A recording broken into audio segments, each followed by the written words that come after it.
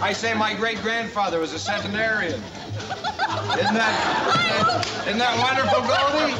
My great grandfather was a centenarian. Hey, Goldie, did you hear his great grandfather was a centenarian? Hey, no kidding. Hey, Goldie, his great grandfather was a centenarian. I hope he lives to be a hundred. Goldie, when you were in school, did you have a tough time with questions?